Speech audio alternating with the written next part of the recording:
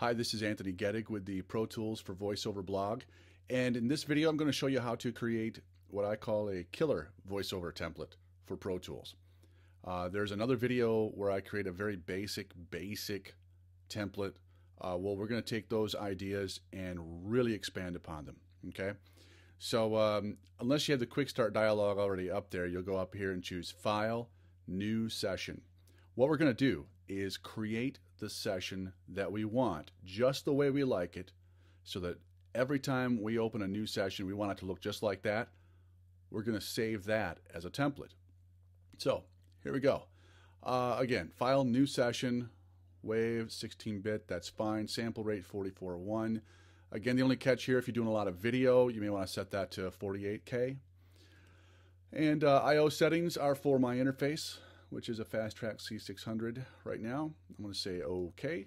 It's going to ask me where to save it. I'm going to call it my Killer VO template. That's just, we got to save it somewhere to, to create it. we will end up toasting that later anyways when, after it's saved as a template. Okay, so we're going to come in here and create five different tracks. I'll explain what they are as we go along. So I'll go up to track and then new. First thing we're going to do is create three mono audio tracks. Add another row to create two new mono AUX inputs. And click Create. All right, there we go. Now we want to come over here and name these right away. Our first audio track we're going to name Raw. This is just the raw voiceover with no processing whatsoever.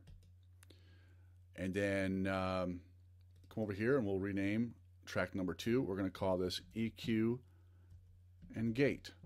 And accordingly, we'll add a little comment here to say this will have an EQ and gate applied. There we go. I click next and let's create, uh, rather name the next track, we're going to call this broadcast. So this is going to have EQ gate, compression, and mastering. Alrighty. Now, so those are the those are the three tracks. Again, raw audio here. This track here is just going to have EQ and a noise gate. This one's going to be loaded up pretty good. Uh, let's name our AUX tracks. AUX 1, we're going to make this very simply the EQ and the gate AUX.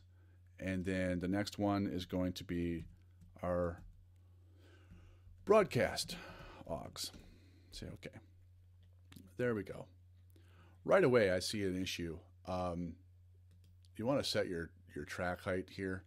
Um, I, I usually grab the zoom tool and then hold down control and set it the way to about where I want it to be. There we go. Let's set those bad boys there we go. That's good. Okay, now let's go over to the mix window. You go up to window and choose mix, or you can hit command equals or control equals if you're on Windows. And uh, there we go. We have our tracks. What we're going to do is set this up so that these three audio tracks receive input from the appropriate source, whether it's raw, whether it is EQ with a gate applied or with the the whole shebang. So let's let's get right into it. First of all, track one, raw. C600 channel one, that's fine. I just that's what I want. I just want the raw with no processing. That track is all set. Okay. Now, in order in order to do the next two, we need to set up our AUX tracks first. Let's look at the um, EQ and gate. What I'm going to do is very simply add an EQ and again, I'm just going to go with factory defaults here with stuff. I'm going to choose a vocal, male vocal, seven band. The reason I'm doing that is my microphone does not have a roll off switch for low end. So you can see here, this is rolling off the low end, adding a little presence here and there. I'm just going to stick with the factory defaults. You could tweak this to your heart's delight if you wanted to on your system. And then I'm going to add in a gate. And again, real simple factory default vocal expander. It's one of the things I really like about Pro Tools is the plugins are really mature and all their presets are I mean they've taken years to uh, to get these about right, and and it's it's good stuff. Okay, so there we go. I have this set up. First, it's going to run through EQ, then it's going to go through the gate. The order in which these are listed here is the order in which they get processed. So now that we know what the processing is, we have to tell it what are we going to process and where are we're going to send it. So here you go. Our input for this AUX is going to be the channel one on my interface, which is my microphone. Great. So this is the same signal, same input as the raw track, okay? But it's going to have all this stuff applied to it. The output, this is what we're really interested in here. The output, we're going to send the output to a bus, a mono bus, bus one. Remember that, bus one. So it takes the same microphone signal, does this stuff to it, and outputs it to an internal routing mechanism called a bus. And so it's going to output to bus one. We come over here to our EQ and gate track. We're going to tell the input of this track to be bus one. Yeah. So all this stuff happens and then shows up over here on this track, right? It's kind of like, uh, it's almost like Pro Tools has a patch bay inside of it, and you're just moving the wires around to tell this to go there and that to go there. So, okay, so we've got that down for this one. Now we have to set up our broadcast AUX. Could I just very simply tell the input here to be bus one and then add extra processing? Yeah, I could. I'm not going to do that though. I'm actually just going to recreate the whole thing. I'm going to tell it uh, to be my microphone input. And I'm going to come up here and add the same plugins. Okay. Yes, I know I could. There's a keyboard shortcut to copy and move these all over, but I think it's good to see all these again. Again, the male vocal seven band going into the gate. There we go. Very simple vocal expander. And now I'm going to add a compressor to the mix. Again, going with the factory defaults, just going to level things off a bit, which uh, provides a, a, a, three to one ratio. It's it's fine. And then uh, one more plugin, a Dynamics called Maxim, and this just uh, I don't know. It's kind of like normalizing, but I just choose the uh, CD mastering preset, and there we go. Alrighty, so our microphone coming in on channel one is going to go through all this stuff in that order. Now we're going to output this to bus two. All right, so this one's going out to bus one, this one's going to bus two. So of course we're going to come over here to our broadcast track, tell the input to be bus two. Okay, let's step back and take a look here. Our raw VO track, the input is very simply the microphone. On our EQ gate track, the input is bus 1, which is our EQ and gate AUX is doing all this processing, outputting it to bus 1, and we're going to take that as the input for this track. And our broadcast track, nice and punchy and full and probably over processed. Um, bus 2 is the input there because we've got that coming on this AUX track sends it out to bus two, and then that becomes the input over here. So again, it's, it's kind of like there's a patch bay and there's just wires going from here to there and from there to here inside of Pro Tools. Okay, I think we're pretty well set up here. Let's come back over here to the edit window. I like to uh, resize my tracks a little bit. Um, to be honest, a lot of times I use the EQ and gate one just because then I can add additional processing later if I wanted to.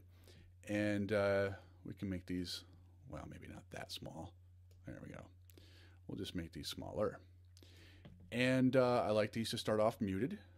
Okay, we're good to go there. Now, let's uh, add uh, a few uh, assets to this to help us out here. One thing I like to do is, uh, I'm a visual guy. So what I'll do is uh, create here, I'm going to create, just selecting a bunch here. And Probably ought to zoom in a little bit. There we go. I'm going to select like 15 seconds. There we go. All right, I'm gonna, this is just 15 seconds of nothing, okay? I'm going to then um, come up here and I'm going to consolidate this into a clip. So I'll go up to edit and then consolidate clip. boom, I have 15 seconds of nothing. Okay. And I'm going to name this 15 second slug. This is this this way when I'm recording and I just want to get a visual of you know how long is this. That just helps me to see that. Okay, now I want a 30 second one. So I'm going to come over here and duplicate this clip by hitting Command D on my keyboard. And then I'll consolidate those. Make one. I'm going to call this 30 second slug. Hey, hey. Again, I'm working on a 30 second spot. There we go. I can get kind of a visual of what that ought to be. Now, you you you guessed it. Yep, got to do a 60. So here we go. We'll call this our 60 second slug. All right. So I'm going to delete that now, but you'll see over here in the clips list, those are there. And when we save the template, we're going to save these with it. Um, by the same token, say you had some standard music beds that you used, or uh, some uh, some jingles that uh, uh, you know you you did the insert for the donut or something like that. This is this is great. I mean, you could just save those in here with the template, and that way, every time you start a new session for that client, those assets are ready to roll. Okay, I think we have our uh, I think we have our session set up pretty much uh, the way we want it here. So we're going to save this as a template. Come up here to File, Save As Template. And we're going to install it into our VO templates category. I've got other categories here, some of which come with with um, with Pro Tools. Some of them are custom created, like VO templates. Name Killer VO template. That's fine. I'm just going to leave it like that. I say OK. Now, one thing I didn't do there that I wanted to, we're going to save that as a template again, is to include the media. okay, so include the media. We're going to, uh, that way all of those uh, little clips, the 15, 30, and 60 second slugs get saved. Say OK, and there we go. Alrighty, we can now close this session. File, close session, no need to save it. And in fact, you see it here on the desktop. I can actually just come over here and, and trash that right now. So now let's come up here and choose New Session, File, and New Session. And we will see there's our killer VO template. All right. So uh, yeah, let's let's go for it. We can change any of these any of these parameters if we wanted to. I'm to say OK. Where do we want to save it? Again, we'll save it to the desktop. I'm to call this my uh,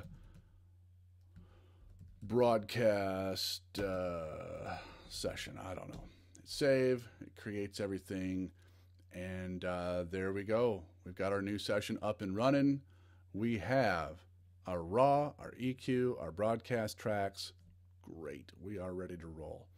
Now, um, you'll also see we over here we have the clips, the 15, the 30, and the 60.